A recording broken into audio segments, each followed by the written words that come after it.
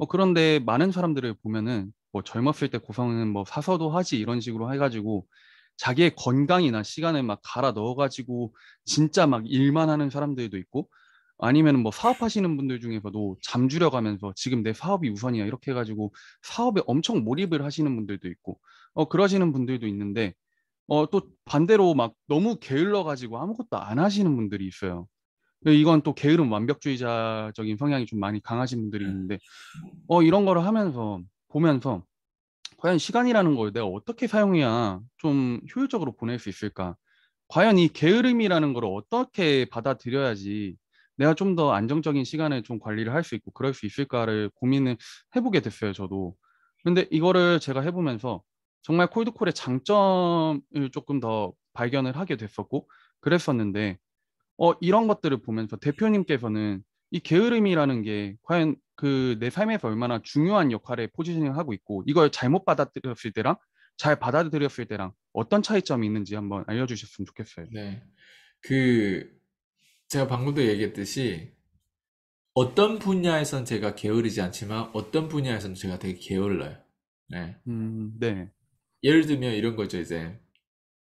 제가 아까도 얘기했듯이 저는 수강생들을 성공시키기 위해서 끊임없이 생각하고 고민하고 끊임없이 아, 이 사람들을 그러니까 어떻게 보면 우리가 교회에서는 이 사람들을 생각한다는 게 어떻게 보면 이 사람들을 위해서 기도를 하는 거예요. 어떻게 하면 내가 이 사람 잘 될 수 있게끔 만들까? 좀 더 빠르게, 네.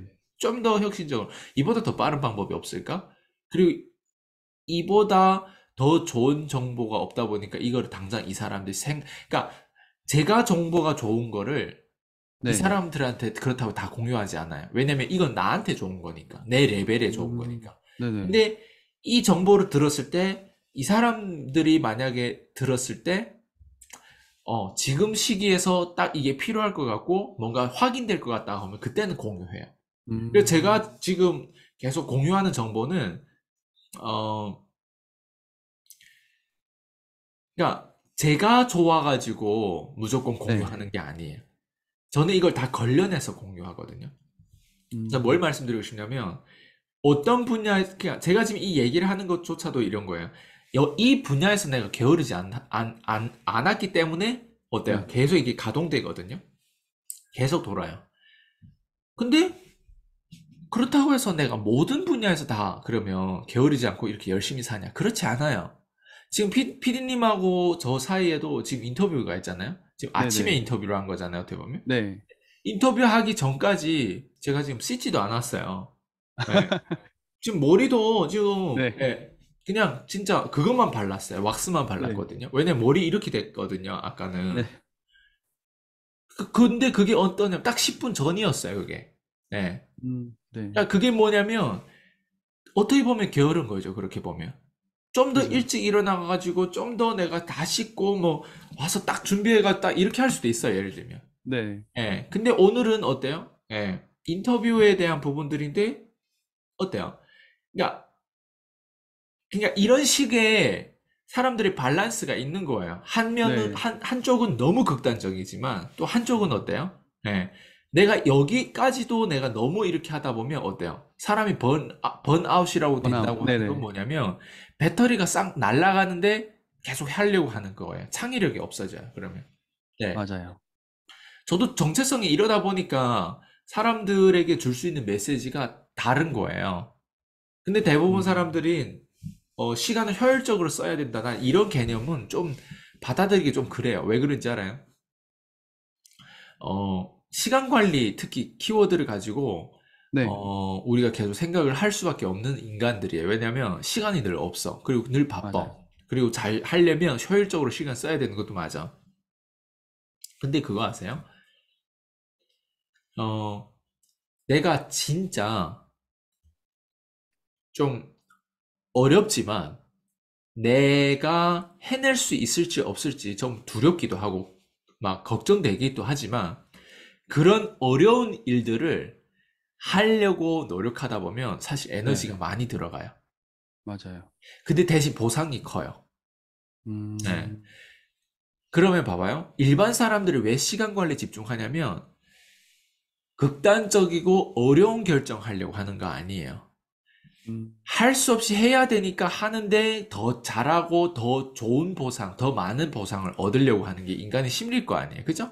네네네. 근데 평소에 그 사람 일주일 스케줄, 한 달 스케줄 그걸 보, 보면 네. 이 사람이 특별히 멋있고 섹시하고 막 위대한 영웅 같고 막 되게 어, 좀 남다르게 결정하는 사람이 아닌 거예요, 대부분. 네. 그러다 보니까 시간 관리를 해야 되는 거예요, 이런 사람들은. 예. 음, 근데 저 같은 사람들은 시간 관리가 필요 없어요. 왜 그러냐면 진짜 중요한 결정을 하는 데 있어서 네. 거기에 집중하고 집착하는데 시간 관리가 왜 필요해요? 음, 저는 항상 핸드폰 가지고 난 온데간데 없이 그냥 필요하면 노트를 하고 있잖아요. 왜냐면 계속 이게 돌기 때문에 중요한 거를 하고 나는 내 고객을 성공시켜야 될 거 아니에요? 그럼 계속 네. 고객 생각을 해야 되는 거예요. 그러면 내가 파- 내가 왜 걷기를 좋아하는지 알아요? 왜 산책 저는 와이프랑 산책하기 좋아. 산책하다 보면 말을 하다 보면 이게 아이디어가 많이 나와요. 맞아요. 그리고 내가 이 사람들 도와줄 수 있다는 그 메, 메시지도 나오고 심지어 다양한 것들이 나오거든요. 네. 그러니까 그, 그건 무슨 말이냐면, 그만큼 계속 거기에 가동된다는 거예요. 내가 원하든 원하지 않든. 안 그래요? 예. 맞아요. 근데, 봐봐요. 시간 관리가 나, 나한테 필요하냐? 난 이거 새벽에 일어나서도 할 수 있고, 제가 얘기했잖아요. 1년 내내 주만해서 얘기할 수도 있고, 그러니까 이거는 시간 관리가 필요 없고, 그냥 내가 되어지는 거예요. 이거는 음, 너무 내가 하고 싶은 거고, 근데 남들이 나를 봤을 때 너무 비합리적으로 살고 있는 거예요. 예, 왜냐면 남들이 나를 봤을 때는 어떻게 저렇게 계속 고객들한, 고객을 생각할까? 어떻게 계속 저렇게, 어, 어, 좀, 아니, 그렇게까지 다 얘기해 줄 필요도 없는데, 왜 저렇게까지 다 할 수 있을까? 남들이 봤을 때는 그렇지만 내, 내 안에는 뭐예요? 그게 정상이고 나는 그렇게 결정해 왔기 때문에 그런 거예요.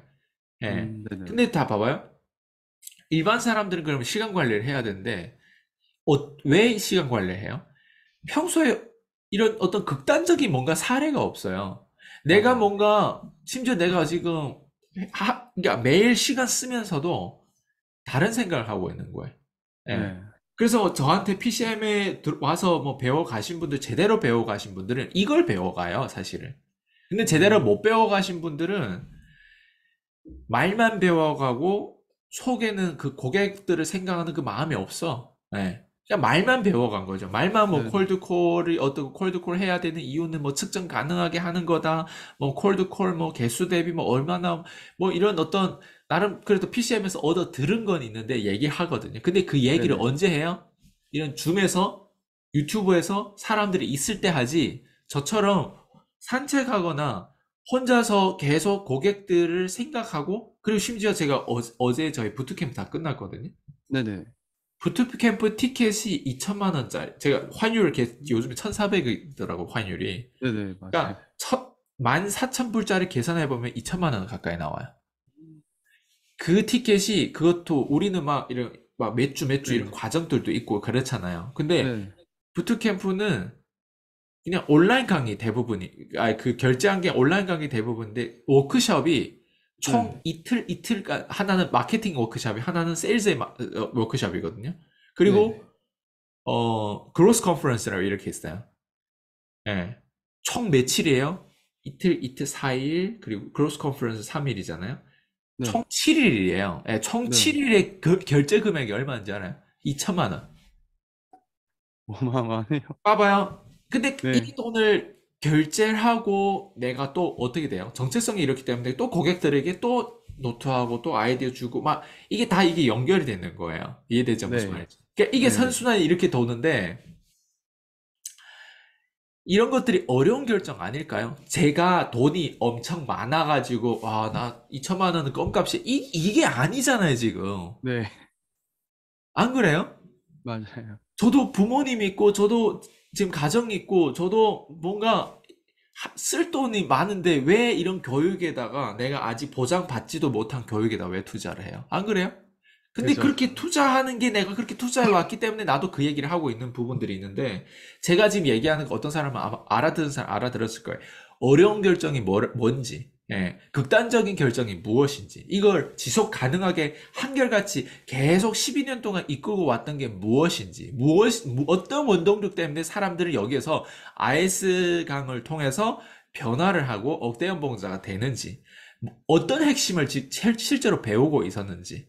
그러니까 그게 그대로 녹여나는 사람들은 진짜 네. 큰 혜택을 받는 거고, 아닌 사람은 아닌데, 그래서, 어, 시간, 뭐, 스케줄, 시간 관리, 저는 솔직히 모르겠어요. 일론 네. 머스크도 일, 일주일에 뭐 100시간 넘게 막 일을 한다고 하더라고요. 네네. 근데 그것 또한 시간, 스케줄, 시간 관리 차원이 아니라 어려운 결정 차원에서 나오는 그, 그 어떤 비, 그 그래프가 약간 주파수가 되게 크게 이게 도는 거예요. 이, 이 리듬이. 일반 사람 리듬은 어떠냐면 요래요. 아니면 죽어 있어요. 이 죽어 있어요. 네. 근데 어때? 일론 머스크 같은 사람도 주파수는 어때? 이렇게 올라갔다 내려갔다. 네. 그러니까 무슨 얘기냐면 그만큼 어려운 결정하면 그만큼 보상도 커요. 근데 사람들은 어려운 결정을 못 내려요. 안 그래? 맞아요. 그래서 저는 좀 약간 이 효율적으로 시간을 보내는 거, 게으른 거, 저는 있잖아요. 내가 지금 이 하는 일 외에는 다 게을러요. 음. 청소, 심지어 로봇 청소기 클릭도 하기 싫어하는. 네. 요즘에 말을 제가 듣거든요. 네. 네. 그리고 설거지 하는 것도 바로바로 설거지 저는 안 해요. 네. 음. 네. 그러니까 그런 부분들 다 거- 보면 보면 게을러요. 그리고 옷도 최대한 바로 입고 바로 빨래하고 하는 것도 아니에요. 옷도 최대한 내가 몇 번 더 입고 싶어 하고 있잖아요. 네네. 근데 제 와이프는 또 그렇지 않거든요. 한 번 입으면 또 씻어야 되고, 아, 빨아야 되고, 막 그런 성향이에요. 그러니까, 그럼에도 불구하고 어때요? 게으르다라고 나를 완전 판단할 수 없는 거예요. 어떤 분야에서는 어느 누구도 나보다 더 열심히 하는 사람이 없다는 거예요. 어느 누구도. 나보다 머릿속에 고객들이 더 많이 생각하는 사람이 없다는 거예요. 이런 부분에서는 어때요, 또? 너무 너무 너무 너무 완전 극단적으로 열심히 하는 거고, 네네. 다른 면에서는 어때요? 손까딱 하지 않을 정도로 그렇게 게으른 거예요. 음. 네. 저는 또 방금 대표님이랑 대화하면서 좀 생각이 났던 건데 시간을 뭐 효율적으로 쓴다? 이게 아니라 내가 그 선택한 시간에 얼마나 몰입하냐 이게 중요한 것 맞아요. 같더라고요. 그래가지고 내가 지금 뭐를 붙잡았고 내가 지금 당장에 할 수 있는 거에 어느 정도 몰입을 했으면은 그 나머지 시간은 어느 정도 내가 이걸로 그 게으름을 상쇄시킬 수 있을 정도까지 몰입을 해봤냐 이거를 좀 붙잡는 게 오히려 맞는 것 같고 그 몰입도를 좀 왜냐하면 사람들이 시간을 뭐 효율적으로 써야겠다 해가지고 시간이 되게 잘게 잘게 쪼개잖아요. 거기서 내가 지금 몇 시에 이걸 해야 되고 남는 시간엔 난 무조건 뭐 책을 읽어야 되고 뭐 남는 시간엔 난 무조건 이걸 해야 된다. 뭐 되게 머리 아프고 과연 그걸 한다고 해가지고 내가 그 책 읽는 시간 와가지고 책을 읽는다고 해서 내가 과연 책이 잘 읽혀지냐 이 차이인 것 같거든요. 그냥 내가 어 이걸 찾았으면은 어, 몰입 한번 해봐야겠다 이래가지고 온전히 내 시간만을 만들어가지고 그 시간 안에서 내가 온전히 책을 읽는 그런 시간들이 중요한 거지. 뭐 하루에 두 시간 무조건 책 읽어야 되고 하루에 몇 시간 무조건 뭐 해야 되고 이게 과연 시간을 진짜 관리를 제대로 해가지고 보내는 게 아니라 이거는 오히려 나를 또 그 시간이라는 틀 안에 또 끼워 맞추고 있는 거기 때문에 오히려 창의적인 사고가 안 나오는 게 그런 거겠지 않을까 싶어요.